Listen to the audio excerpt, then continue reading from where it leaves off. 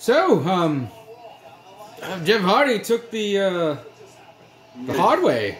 Yeah, he got a DQ. Yeah, he, he hit Elias with his own guitar. That was about the most entertaining thing of the match. It kind of was. I mean, the, it was. There was It, nothing that really captivated But me here- watching it. here's the thing. Here's the thing. I feel that maybe, maybe, just maybe, we may have paid a little closer attention or been a bit more drawn into it if they hadn't opened the show with a Hell in the Cell match.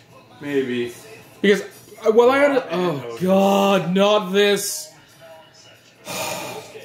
okay, so yes, Jeff Hardy won. Uh, no, sorry, he lost uh, via disqualification. Uh, Elias sang a song uh, about how everybody stank, and Jeff Hardy um, uh, was a drunkard and a drunkard. Is that about right?